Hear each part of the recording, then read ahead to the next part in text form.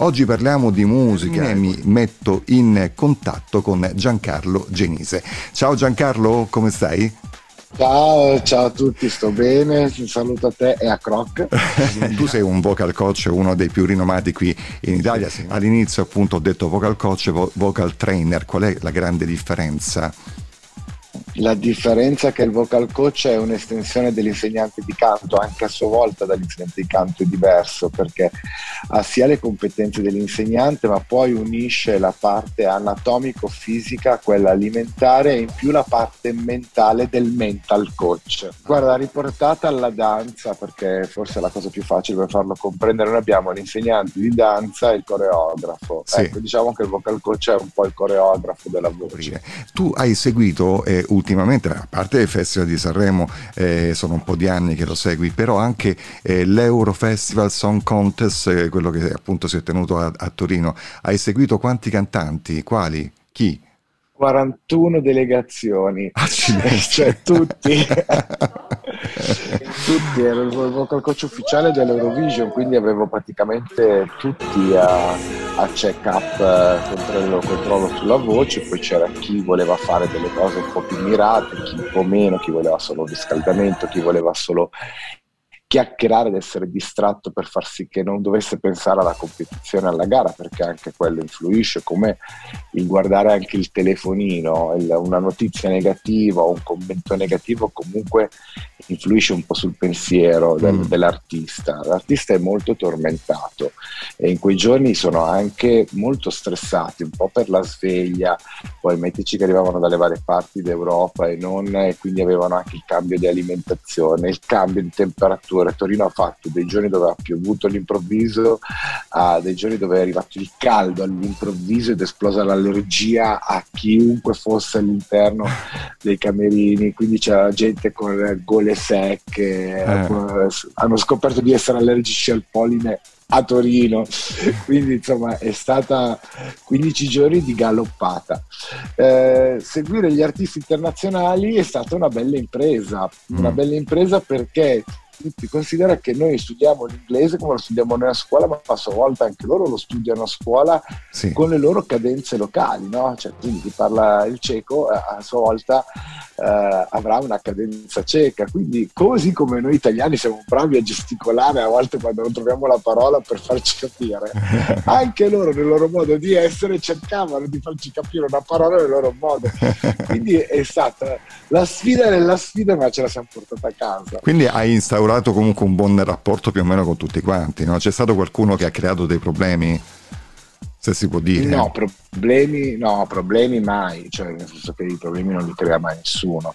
C'è quello che forse va più in panico, va più in panico perché eh, c'è un calo della voce piuttosto che non, ha, eh, non, non, sta bene o ha avuto la febbre o c'era chi eh, ha avuto magari chi, qualche membro dello staff che era positivo al Covid. Noi eravamo tamponati tutti i giorni prima sì. di entrare dentro il palazzetto quindi magari qualche membro dello staff poi veniva allontanato. Scusami, scusami Giancarlo, mi viene spontanea la domanda, anche Laura Pausini è stata tamponata immagino in quei giorni, no? Perché poi dopo è tutti, esploso. Ecco. Tutti, tutti, tutti, tutti, siamo stati tutti tamponati. Mm. Eh, infatti non capiamo come la, Laura secondo me l'avrà avuto un contatto in albergo, penso, oppure gli si è eh, sviluppato perché proprio da sabato sera lei ha detto io non mi sentivo tanto bene sabato sera, quindi calcolando un po' i giorni di eh, perché poi sabato mattina è stato fatto l'ultimo tampone. Sì.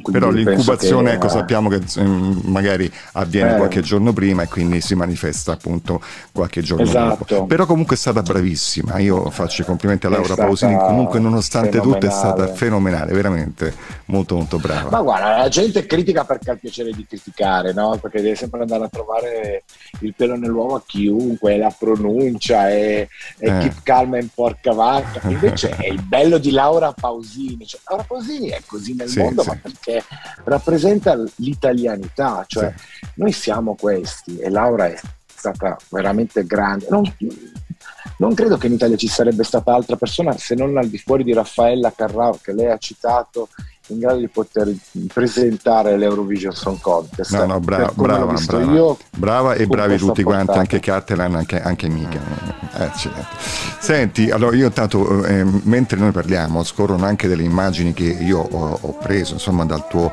dalla tua pagina Facebook dove tu alleni un po' la voce per esempio di eh, Anne eh, Rosalyn, eh, la, cantante armena, oppure di Michael Ben David, eh, il cantante israeliano, insomma eh, hai avuto delle, delle, un gran bel lavoro da fare. Però volevo raccontare una, una cosa che ti riguarda, perché tu sei stato, sei un cantante comunque, hai iniziato la tua car- carriera come cantante, ti sei scoperto vocal coach quando ad un certo punto nel 2001 mi pare, eh, aiutami a ricordare questa, questa data. 2011. 2011, 2011 ecco, ti, ti, si è bloccata la, la bocca eh, mentre, mentre cantavi, era un capodanno e si è bloccata la bocca. Che è successo? Ho avuto una paralisi facciale che all'inizio pensavano, dalla prima diagnosi mi fecero un errore, pensavano che io avessi un tumore al cervello. Sì. Quindi eh, ovviamente tutte le crisi possibili e inimmaginabili che una persona possa avere quando ti viene diagnosticato questo, in realtà era un herpes, chiamiamolo così, che anziché sfociare tranquillamente, ma può sfociare su un labbro, aveva aggredito tutta la parte nervosa del mio corpo, quindi sono rimasto paralizzato per metà. Mm-hmm. Eh, cioè tutta la mia parte eh, sinistra era completamente paralizzata, compresa le corde vocali.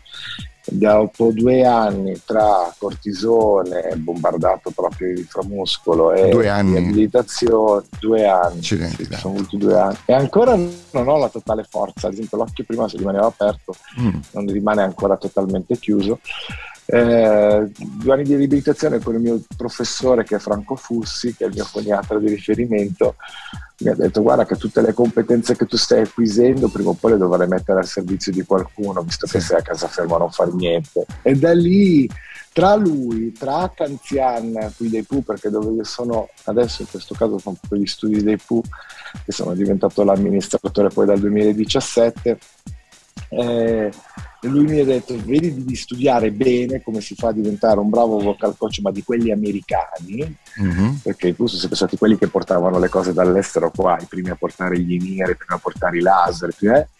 e fa e poi seguirai noi in Q50 ed è nata così la cosa mm, infatti mm. poi io ho iniziato a fare il vocal coach nel 2016 esattamente ufficialmente insegnavo facevo le varie cose eh, nel frattempo facevo tutti i miei apprendistati del caso 5 anni full immersion e continuo ancora oggi eh.